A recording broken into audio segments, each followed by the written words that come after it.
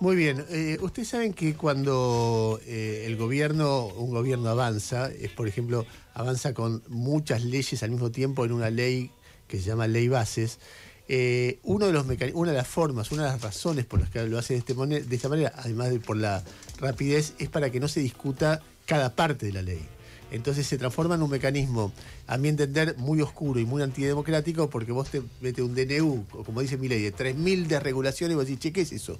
Hablemos de la pesca, hablemos de las prepagas, hablemos del combustible, hablemos de. este Y después te metes una ley de 340 artículos que se mete desde cómo se puede manifestar hasta un blanqueo, hasta la reforma jubilatoria, hasta. Eh, entonces el tiempo para discutir todo eso se hace casi imposible.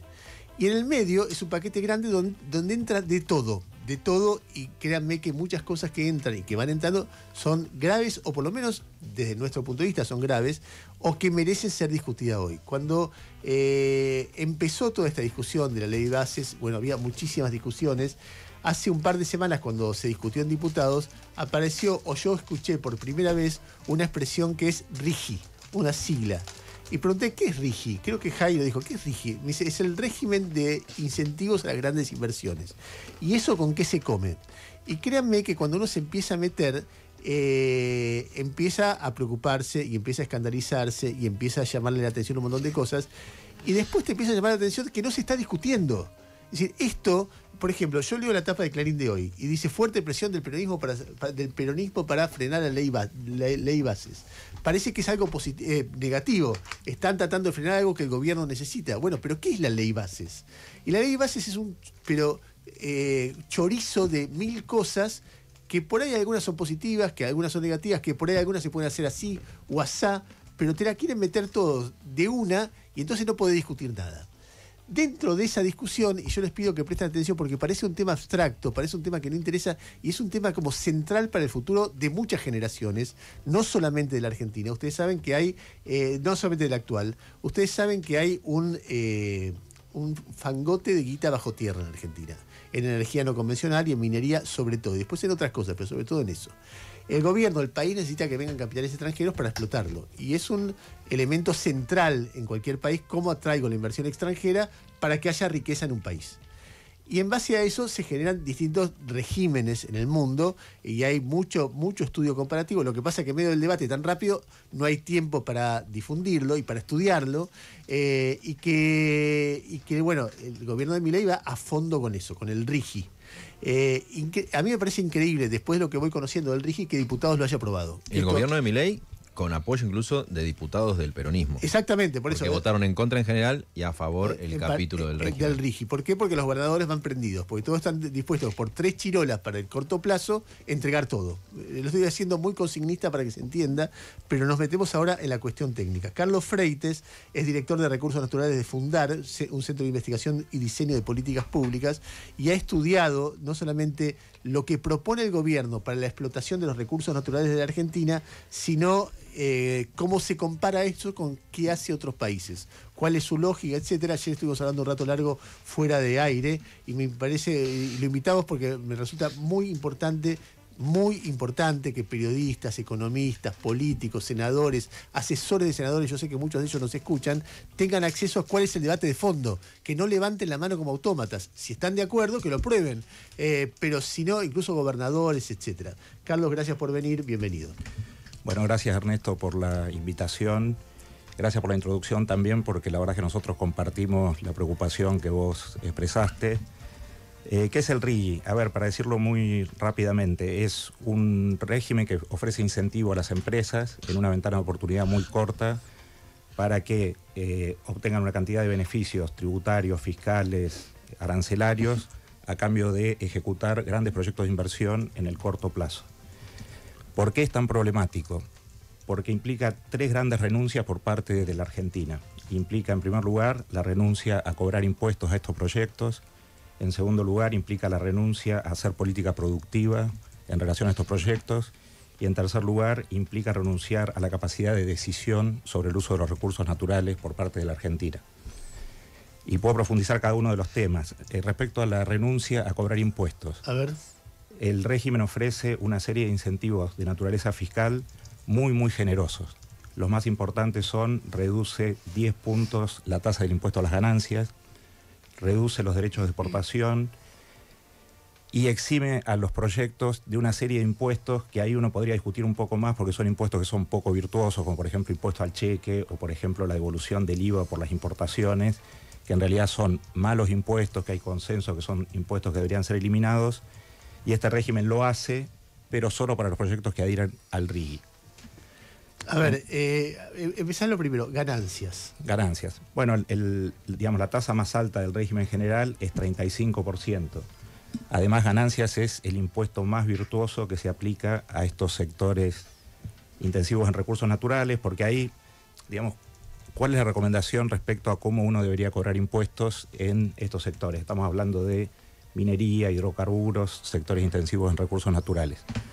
Uno debería tener un esquema tributario que a medida que aumentan los, que frente a la eventualidad de que aumenten los precios internacionales o frente a la eventualidad de que se aumenten los márgenes operativos de las empresas, el Estado tenga mayor capacidad de capturar renta en estos sectores.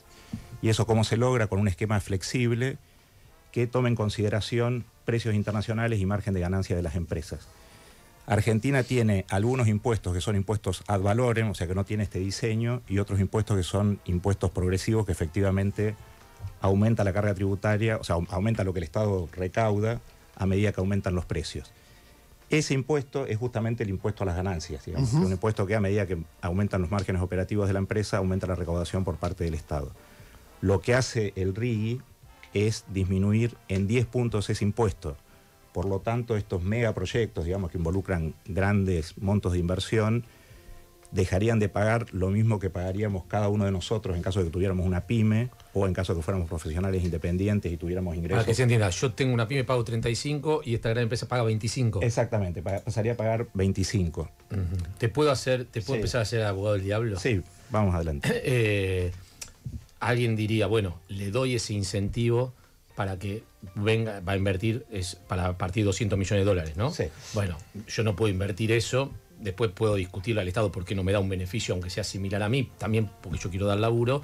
Dice, bueno, yo necesito traer a alguien que invierta mucha guita y que presuntamente dé laburo en Argentina. Entonces le bajo 10% ese impuesto para que se instale. Bueno, en, realidad, digamos, los proyectos a los cuales el RI está orientado son proyectos que se vienen discutiendo hace varios años, tres o cuatro años como mínimo.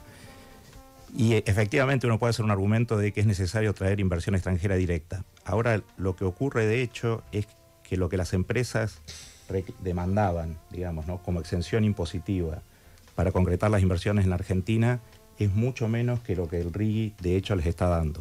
Y los reclamos de las empresas eran esencialmente dos. Uno era la eliminación de los derechos de exportación, que es un impuesto a tasa fija que no varía según el resultado de la empresa y por lo tanto afecta, digamos, su ocasión financiera. Y eso se lo dieron. Eso está en el, en el RIGI. La segunda cosa que pedían es acceso al mercado único y libre de cambios, que en un contexto de controles de capital como tiene la Argentina, tiene sentido porque les impide remitir eh, utilidades al exterior. Exactamente. Esas dos cosas están en el RIGI, digamos. Ahora, sobre esas, sobre esas dos cuestiones que uno podría discutir en su diseño, pero asumamos que tiene sentido. Eh, ¿Esos beneficios se no estaban? ¿No, eran pedidos por la empresa esto que se aprobó? O sea, 10 puntos adicionales de impuestos a las ganancias. Puede ser que lo haya demandado una empresa para un proyecto específico. Ahora, como diseño general de política, es un diseño muy, muy poco virtuoso. Y esto además se compone con el hecho de que el régimen da estabilidad tributaria durante 30 años. ¿Y eso qué significa? Eso significa básicamente que... ¿O por qué está mal? ¿Por qué está mal? Por varios motivos. Primero porque la decisión de inversión de la empresa depende de lo que ocurre en los 10 primeros años. O sea, en los 10 primeros años la empresa recupera su inversión y todo su cálculo financiero para invertir o no se centra en esos 10 años. En segundo lugar, está mal porque sobrecompromete al Estado argentino más allá de su intención de incentivar la inversión extranjera directa. En tercer lugar, está mal porque en, la experiencia comparada, y ahí está por ejemplo el caso de Perú, uno generalmente no otorga un beneficio encima de otro.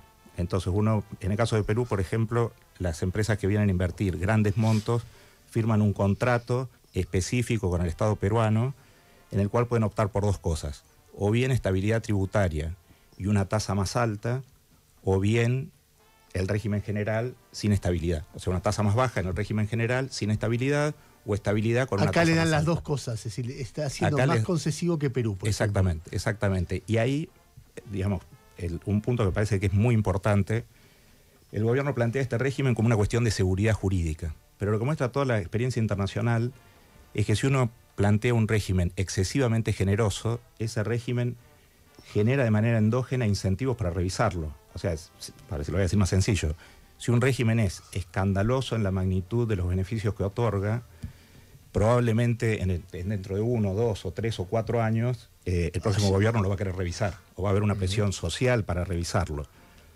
Entonces, ¿qué, qué es lo que en la práctica genera el régimen? El régimen no genera estabilidad jurídica, como está diseñado, no genera estabilidad jurídica, lo que genera es un- una amenaza de litigiosidad en contra del gobierno argentino. Ahora, pero ¿y esa litigiosidad? Porque yo también pienso esto, porque vos me decís, bueno, una empresa le estás dando 30 años. Yo bueno, si vengo a invertir fuerte a un país y te voy a, necesito que me des un plazo de tiempo para que yo recupere la inversión y empiece a ganar.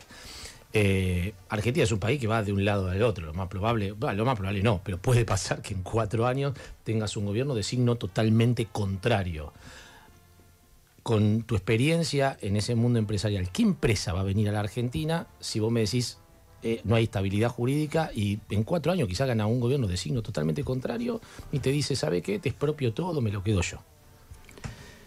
A ver, digamos, respecto a la amenaza de expropiación, no hay salvaguarda suficiente en ningún régimen jurídico, digamos.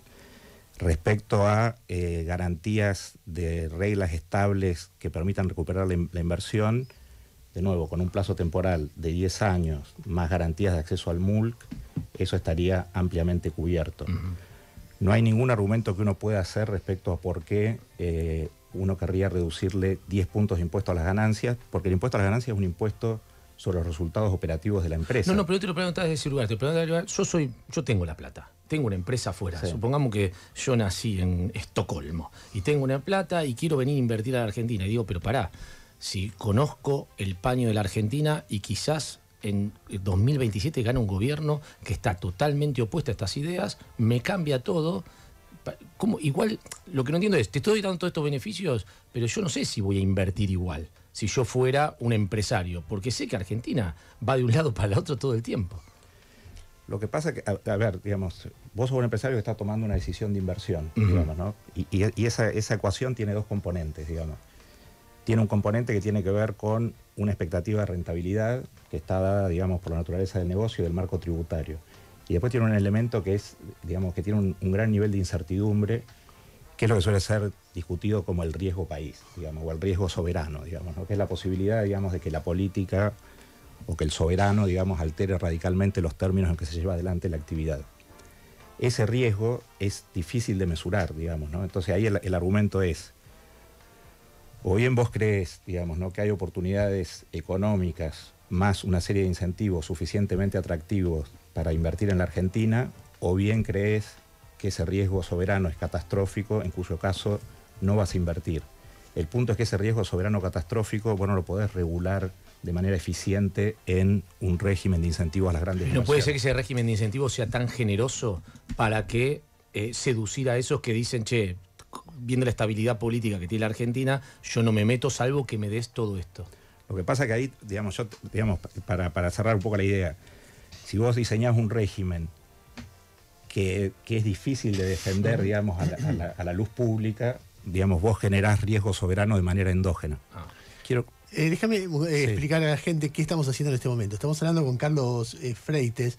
Carlos es un especialista en temas de explotación de recursos naturales y estamos metiéndonos tratando de explicar y tratando de generar conciencia sobre algo que está pasando en el, en el Parlamento, que es la aprobación dentro del marco de la ley de bases del régimen de incentivo para las grandes empresas. ¿Qué significa eso? Las condiciones que está ofreciendo el gobierno a las grandes empresas para invertir en recursos energéticos, recursos mineros, que eh, podría dar acceso a divisas a corto plazo y la pregunta es ¿a costa de qué? Y me parece que es un tema importante. Recién Carlos estaba eh, eh, refiriendo a las ventajas impositivas y contaba que le están recortando el impuesto a las ganancias un 10%, cosa que va a pagar mucho menos un capitalista mundial, una empresa petrolera mundial, que eh, un, alguien que tiene una pyme. que además es más trabajo incentivo, que si vos querés generar trabajo, por lo menos tenés que, dar el mismo incentivo, ahí hay un caso de desigualdad, pero además le garantiza, lo que no le garantiza a ningún otro actor de la economía argentina, una estabilidad fiscal por 30 años. O sea, la ley le dice, quédate tranquilo, esto, este, recorte te va a regir durante 30 años cuando otros países, dio el ejemplo de Perú, eh, dicen, bueno, elegí una cosa o la otra, que es estabilidad fiscal por 30 años, pagás lo que todo el mundo. ¿Querés que te recorte un poco los impuestos? No tenés estabilidad fiscal y esto puede estar sujeto a cambios. Entre las cosas que me decía ayer Carlos de importantes tiene que ver con algo de el manejo de eh, la plata que los derechos... De, eh, ¿Qué se hace con las divisas? Porque cualquiera que exporta tiene la obligación de liquidarlas acá las divisas. Después demorará más, demorará menos, pero exportar, liquidás acá, te dan los pesos por los dólares que, eh, que haya y las divisas entran a Argentina. Se supone que eh, el régimen de inversiones eh, tiene como el objetivo es, che, liquide las divisas acá porque nosotros necesitamos dólares, tiene que haber algún tipo de reglamentación respecto de esto. ¿Qué es lo que dispone el RIGI o el RIGI respecto de qué se hace con las divisas o con los dólares que surjan de la exportación de nuestros productos naturales. Bueno, muy, buen punto. El, el RIE lo que hace es eximir a las empresas de la obligación de liquidar localmente el resultado de las exportaciones. Y tiene, digamos, un, diseño progresivo para, que esa, para que esa regla, digamos, tenga efecto, pero ese diseño progresivo es paradójico porque hay una obligación de liquidar el, el digamos, el, solo el, el, 100% el primer año, el 40% el segundo año, el 20% el tercer año y nada a partir del tercer año, pero estos son proyectos que tienen un tiempo de maduración largo. Entonces, si uno, por ejemplo, va a hacer un proyecto de cobre, ese proyecto de cobre va a tener cuatro o cinco años de construcción. Hasta que genere. Hasta que genere divisa. O sea que en la práctica no hay ninguna obligación de liquidar divisas porque el proyecto solamente va a madurar dentro de cuatro o cinco años. ¿Y eso significa que la Argentina se queda con cuántos dólares de lo que sale de ahí? Bueno, en realidad hay, un, hay un primer momento que es virtuoso, que es cuando la empresa, digamos... Eh, Invierte. claro, exactamente. Ingresa 200, 300, 400 millones de dólares. En realidad es menos porque es el 40% de esos montos mínimos en los primeros dos años. Hay un momento virtuoso que es cuando se invierte en el país, se construye el proyecto, se, digamos, se contrata digamos, eh, trabajo para construir el proyecto, etc. Ahí hay un balance que es positivo. Ahora, en el tiempo ese, digamos, ese balance eh, es negativo o es... Eh, es, intangible para la economía argentina. Es negativo porque si vos repatriás capitales y no podés traer, y no tenés la obligación de traer los dólares que generás afuera, lo que, lo, que generás es solamente una recaudación de impuestos que además es menor a la del resto de los argentinos. O sea, a ver, yo te voy a decir qué, qué me pasa con toda esta discusión. Eh, me doy cuenta que hay un, eh, hay un dilema que es el que te planteaba Gustavo, porque cuando nosotros éramos pibes estaba de moda un libro que se llamaba Las venas abiertas de América Latina, de mm. Galeano.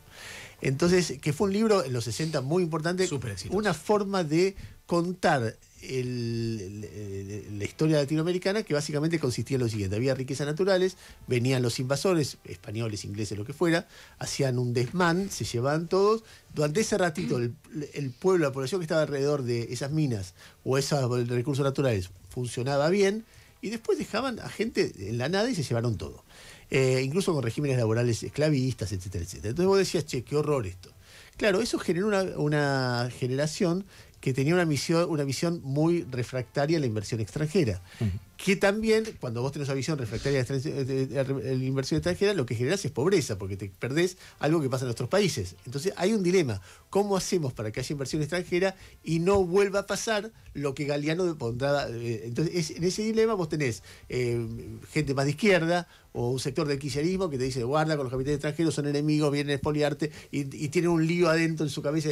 Y después tenés sectores de la derecha eh, ortodoxa que te dice que vengan como sea, pero que vengan porque necesitamos los dólares. Entonces, eh, el otro día cuando yo escuchaba a Culfas, que Culfas decía, bueno, una forma de revertir esto que hacen muchos países es obligarlos a comprar insumos producidos por las empresas de esos países, porque eso genera producción, genera conocimiento, genera empleo, y además esas empresas de repente pueden desarrollarse y exportar después. ¿Qué dice el RIGI respecto de esto? Bueno, el RIGI lo que hace es, eh, les permite a las empresas importar arancel cero no solo bienes de capital, sino también repuestos, eh, partes de maquinarias, insumos para la producción y en la última redacción dice directamente mercadería. Mercadería quiere decir que potencialmente podrían importar hasta los uniformes, digamos, y los zapatos de trabajo de los trabajadores que operan el, proyecto. Ahí déjame que, te diga una, cosa un poco general sobre tu comentario sobre las venas abiertas de América Latina. Ahí en realidad, digamos, toda esa discusión siguió, ¿no? Y entonces un poco lo, lo, que dice en este momento la discusión es, la inversión extranjera directa puede ser virtuosa si se cumplen dos condiciones. Primero, que vos le cobres impuestos. Segundo, que vos estés en condiciones de hacer políticas de desarrollo productivo tal que, como vos decías, se generen capacidades productivas locales. ¿Eso qué quiere decir? Que tengas, por ejemplo, una pyme que fabrica bombas para eh, el proyecto minero, que tengas, digamos, una empresa de construcción que haga movimiento de suelos y mantenimiento, que tengas construcción de refugios, digamos, de alta montaña, que tengas, bueno, de mínima también eh, ropa de trabajo, zapatos de trabajo y tal.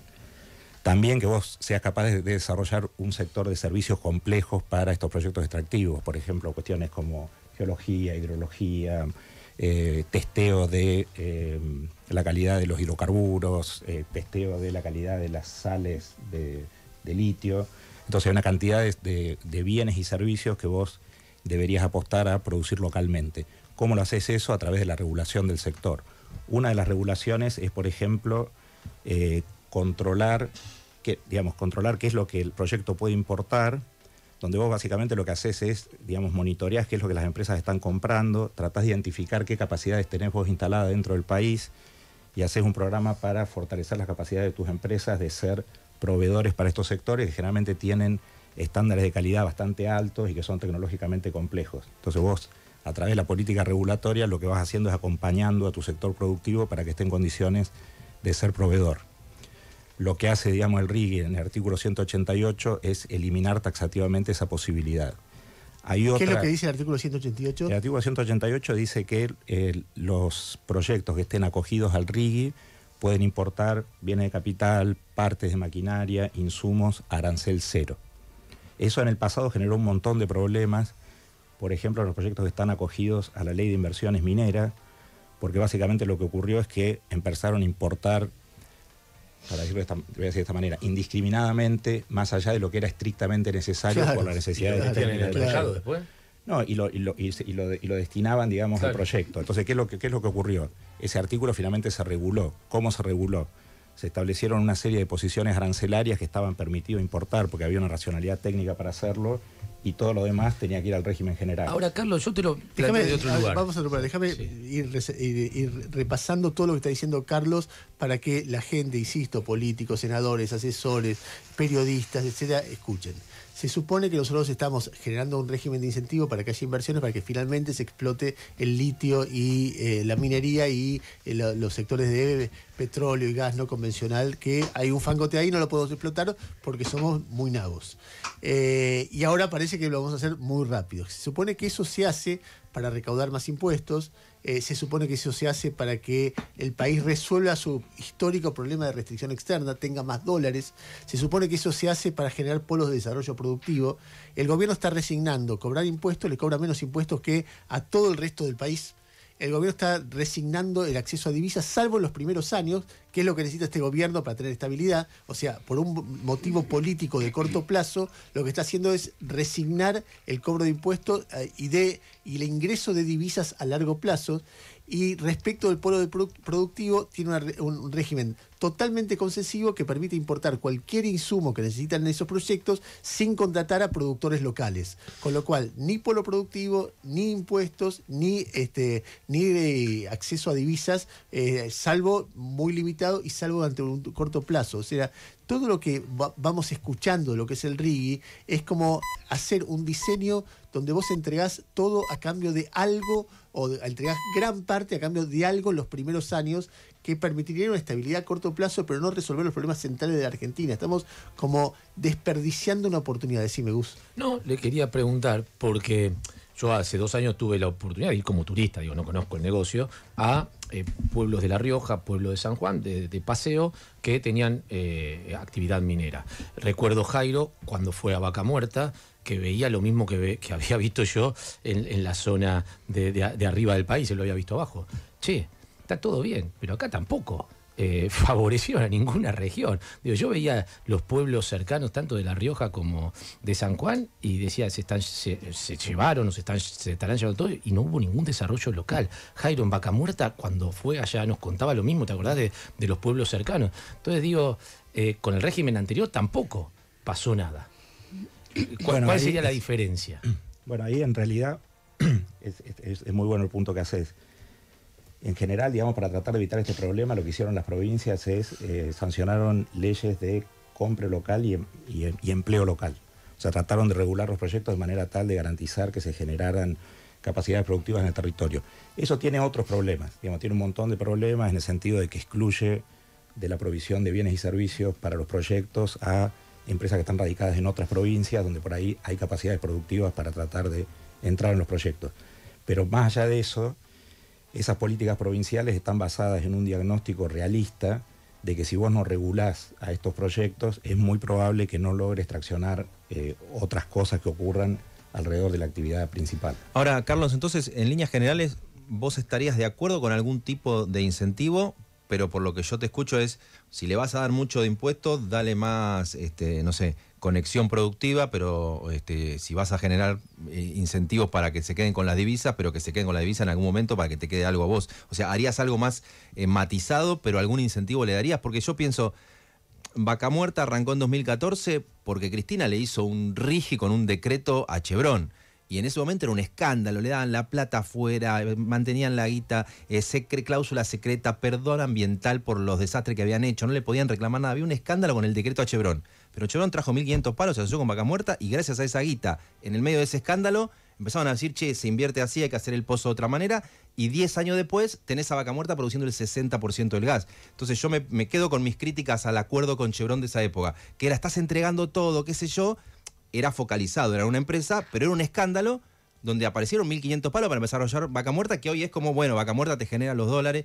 Estoy haciendo como algo muy simplificado. Me interesa tu mirada. ¿Darías algún incentivo más matizado con, no sé, desarrollo productivo? ¿Cuál es tu mirada en ese caso? Sí, o sea, eh, gracias por la pregunta. Nosotros creemos que vos necesitas inversión extranjera directa para desarrollar estos sectores y creemos que puede ser razonable ofrecer algún tipo de incentivos. Ahora, eh, una cuestión que no se justifica, estabilidad fiscal por, por 30 años. 10 años sería suficiente para atraer eh, inversiones. Vos podés darle una garantía de estabilidad tributaria, pero eh, digamos, los diseños virtuosos lo que hacen es eh, establecer condiciones para que las empresas puedan acceder a esos beneficios. Y hay un ejemplo que es muy interesante, que es el ejemplo de Australia. Australia, ¿qué hace? Tiene un régimen de incentivo para grandes inversiones, pero les pide a las empresas que presenten un plan de participación de la industria nacional básicamente lo que tienen que hacer las empresas es en, la presentación técnica de su proyecto, es decir, yo identifico que existen tales y cuales oportunidades para desarrollar proveedores locales. Y entonces el, régimen lo que hace es da un horizonte temporal para que, para que las empresas estén en condiciones de adquirir esas capacidades para convertirse en proveedores de esos proyectos. Lo que pasa es que yo creo que este proyecto está más copado por los lobbies que por una mirada de desarrollo productivo. Pero si hubiera una explicación no de lobbies del gobierno, yo te escucho a vos y te diría, escuchame, me estás comparando con Australia y con Perú. Nosotros desde el 2014 hasta acá, fíjate lo que pasó con el tipo de cambio. Hace 10 años que las empresas no giran dividendo. Me imagino a alguien, si eventualmente esto no estuviera copado por los lobbies, que creo que está copado por los lobbies, alguien diciendo, si no me paso de rosca con el incentivo, siendo Argentina, no viene nadie. Lo que pasa es que ahí, está la cuestión de, digamos, si vos les estás dando a las empresas lo que las empresas te piden o les estás dando más de lo que las empresas te piden. Entonces, ¿qué te piden las empresas? garantías respecto a la posibilidad de girar dividendos. Entonces, eso está en el régimen. ¿Qué te piden las empresas? Reducción de los derechos de exportación. Eso está en el régimen. ¿Qué no te piden las empresas? Disminución de 10 puntos del impuesto a las ganancias. Y, la, cuestión del que hablábamos antes con, Gustavo no, es un punto abstracto, digamos, ¿no? y les voy a dar un ejemplo. Panamá tiene una de las minas de cobre en operación más importantes del mundo. Hubo una negociación eh, directa entre la empresa y el gobierno y el Congreso de Panamá para establecer un régimen de incentivos sumamente generoso. El régimen fue aprobado. Fue un escándalo, generó movilizaciones en la, calle. Tan, tanto fue un escándalo que el gobierno tuvo que volver marcha, dar marcha atrás con ese régimen. Diseñó un nuevo régimen más virtuoso y más defendible a la luz pública, lo volvió a mandar al Congreso, el Congreso lo aprobó, era un mejor régimen, era un régimen que se podía defender, lo aprobó el Congreso, de nuevo hubo movilizaciones en la calle y finalmente terminó con la prohibición de la actividad de la minería de cobre en Panamá. Entonces esta cuestión de Que te pasás de un lado puede terminar siendo o sea, al revés. A Exactamente, ver, Carlos, entonces- quiero, quiero cerrar con una cosita, Sí. porque me da ganas de seguir hablando, hablando, pero bueno, de un momento tenemos que cerrar. podemos poner de acuerdo si hay una G y una I. Es Rigi. ¿Por qué diríamos Rigi? Claro, porque es grandes, no es... No eh, entiendo. Si hay una fuera- U, yo te digo Rigi, pero es es R-I-G-I. Rigi, O para sea, mí nos ponemos Rigi. de acuerdo en lo básico. Este- Si no, no vamos a poder discutir. Vamos con Rigi, Rigi, Eh, vamos con régimen. No, lo que te quería preguntar es eh, el régimen de la explotación de cobre en Chile. Sí. Porque siempre se habla de Chile como el modelo de desarrollo capitalista virtuoso. Eh, ¿Cómo es? Muy brevemente, en un- 30 segundos, no, no, en un minuto, un minuto y medio, contanos. Ah, bueno, bueno, 10 minutos. Te, voy- te- te- te voy a cambiar la pregunta. Te, te voy a cambiar la pregunta y te voy a decir régimen de litio. ¿sí? Porque el régimen de cobre es muy particular porque hay una empresa estatal, digamos, que explota el recurso desde la década del 70. Y funciona bien todo, Y ¿no? funciona bien, digamos. El- lo que es interesante es el régimen de litio, digamos, ¿no? Porque ellos básicamente tuvieron una reforma del, del marco regulatorio del litio recientemente, en la cual que hicieron, por una parte pusieron impuestos móviles, digamos, ¿no? Regalías móviles, tal que cuando aumenta el precio internacional, aumenta la presión impositiva sobre el proyecto. Acá no. Acá, acá, la 128 acá baja, no funcionó. Acá baja. Cuando sube el precio internacional, nosotros le bajamos los impuestos. Exacto. Eh, otra cosa que hicieron es una parte de los impuestos que se cobraban en relación al litio fueron a financiar, por, un, por una parte, desarrollos tecnológicos, digamos, asociados con la actividad, ¿no? Un instituto del litio que se dedicaba a desarrollar tecnologías para la producción. Por otra parte, un instituto que se dedicaba a atender cuestiones de gobernanza socioambiental, tema que no llegamos a hablar, pero, digamos, ¿no? atender o sea, demandas de comunidades locales, impactos ambientales de la actividad. Eh, y por otra parte, estableció una cuota para el procesamiento local del recurso, cosa que el RIGI también prohíbe.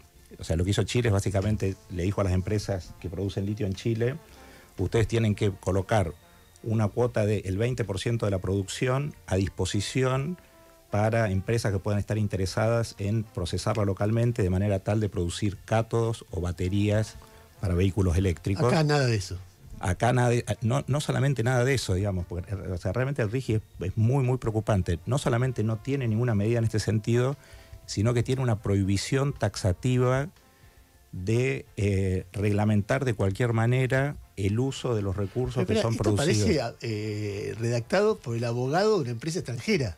Es decir, eh, eh, da la impresión de que se juntaron estudios jurídicos de una empresa canadiense y otra sudafricana y dijo, che, pidámosle todo porque estos tipos se entregan.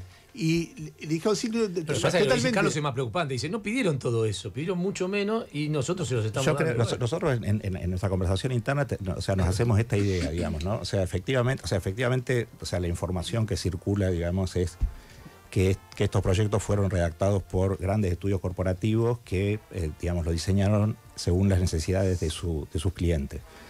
Ahora bien, yo creo que, digamos, que el- este abogado imaginario, digamos, que redactó el proyecto, hizo su trabajo excesivamente bien, digamos. O sea, no solamente colocó lo que las empresas necesitaban, sino colocó una cantidad de cosas más que sería deseable tener. Claro, para mí puso porque diciendo algo te van a cortar. Y el tipo, no me cortaron nada. Y entró todo. Exactamente. Como, exactamente. como la- Sí, ah.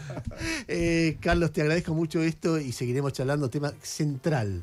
Es muy difícil para un medio de comunicación explicarlo porque también es árido. Es decir, a uno le gusta más hablar de eh, nada, de Boca, River, de estudiantes y de tantas otras cosas que, que- que pasan, que son divertidas o que tienen más impacto emocional. Esto es árido, pero es muy importante. Es muy importante darle magnitud periodística a algo que antes que se discuta, porque después va a ser tarde. Entonces hay una discusión que no tiene que ver con, eh, que tiene que ver con cómo atraer la inversión extranjera, no que tiene que ver con si hay que atraerla o no. Estamos todos de acuerdo que hay que traerla. Eh, entiendo que esa discusión tiene aspectos que son muy sutiles y muy sofisticados, porque te equivocás en un sentido, expulsás, te, te equivocás en otro sentido, entregás demasiado. Ahora, todo a favor de las empresas, como en ningún otro lugar del mundo, es un disparate. Entonces, eso es lo que estamos explicando, lo que estamos tratando de que la gente entienda. Entiendo que es entiendo que esta de manera cuesta concentrarse en eso, pero bueno, este, nada, haremos el esfuerzo. Gracias, Carlos. Bueno,